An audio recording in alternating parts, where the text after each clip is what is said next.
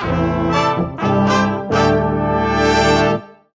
der Tarek hier wieder beim Brasmania 2013. Wir stehen jetzt hier Backstage bei der Band Jazzkantine, die jetzt noch ihren Auftritt vor sich hat.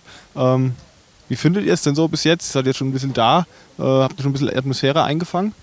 Klar, wir sind relativ früh jetzt hier und freuen uns natürlich sowieso über jedes Festival äh, mit Sonnenschein, was ja in unserem Land nicht unbedingt selbstverständlich ist. Und ähm, das passt umso schöner natürlich äh, dieses Wetter zu dem Konzept hier, also sprich ein bisschen äh, Blasmusik oder Brassmusik, die gehört, finde ich, viel naturmäßig, naturgemäß auch mit gutem Wetter zusammen. Und von daher ist es für uns äh, ein willkommener Ausflug. Wir sind ja mit der Jazzkantine auf relativ vielen verschiedensten Festivals unterwegs, aber das ist äh, schon so, wir mögen so die handgemachte Musik auch.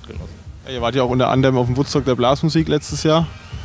Genau, das muss hier irgendwie, ich glaube, es sind die gleichen Veranstalter oder so. Zumindest ist es ein Konzept, was uns jetzt sofort daran erinnert hat. Ähm, und äh, auch da kam man nämlich an und dachten dann, was ist hier los? Also das ist ja uns Norddeutschen nicht so geläufig, dieses Thema, also diese Verbundenheit mit eben der, der ähm, regionalen Folklore im weitesten Sinne und äh, freuen uns umso mehr, dass wir dabei sein können. Und ähm, das ist schon was äh, Besonderes, einfach auch naja, weil es ist ja so, so der, dieses Woodstock-Ding da in Österreich ist ja tatsächlich auch, wie der Name schon sagt, auch verbunden mit Zeltstädten und einfach abhängen und so. Und das ist schon äh, in der Kombi so was, was, was für uns auch nicht aller Tage so auf, der, auf dem Tourplan steht. Ne? Mhm.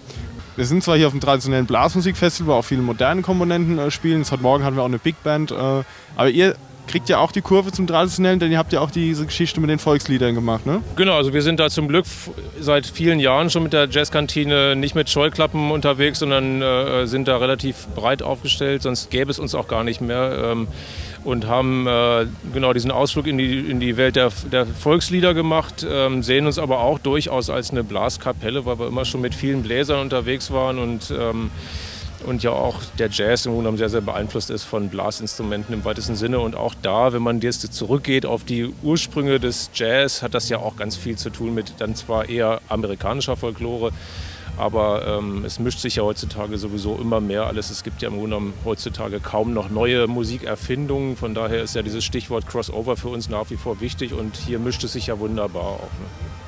Ja, das finde ich auch hier richtig wieder gut gelungen. Du hast eine Mischung zwischen traditionell, zwischen modern, zwischen wie gesagt, Big Band, äh, Salsa kommt noch, also du hast eigentlich schon jede Facette. Auf Dauer, also so sehr ich die Musik auch mag, irgendwann ist dann auch mal gut, glaube ich. Also es ist auch immer ein schöner Abschluss äh, an so einem Tag, wenn man dann sagen kann, jetzt ähm, geht es nochmal stilistisch einfach in eine ganz andere Ecke und das ist dann vielleicht noch eine andere Form des Tanzens und des Mitsingen. So wie, und dann sind wir so als deutschsprachige Band wahrscheinlich keine schlechte Wahl für so einen Abend. So. Ja, auf jeden Fall. Ich glaube, das wird auch vom Publikum angenommen und einfach auch mal diese Abwechslung zu haben. Genau.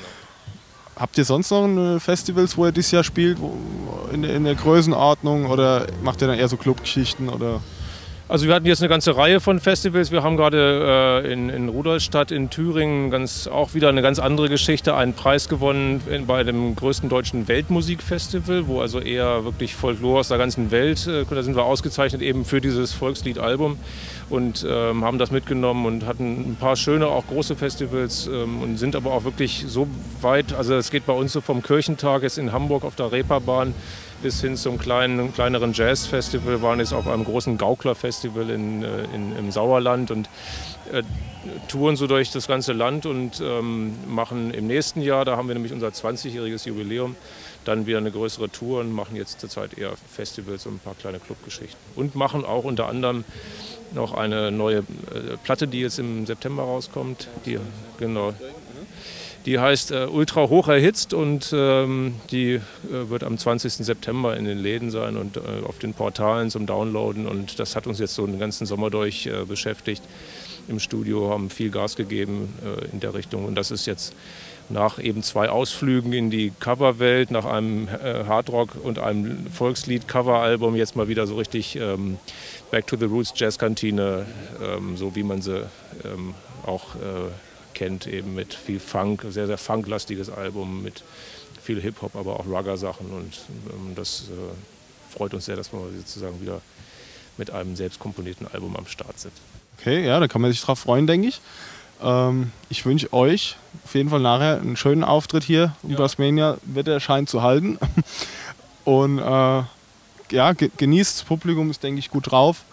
Und äh, dann sind wir gespannt, was ihr nachher so spielt für uns. Ja, ja, wir sind auch gespannt. Wir hatten eine lange Anreise jetzt, immerhin 600 Kilometer und äh, trinken jetzt noch ein Bierchen. Vielleicht springen wir noch mal in den See und freuen uns auch. Mal schauen. Danke für die Einladung. Okay. Ja, danke. Vielen Dank. Mach's gut. Ciao.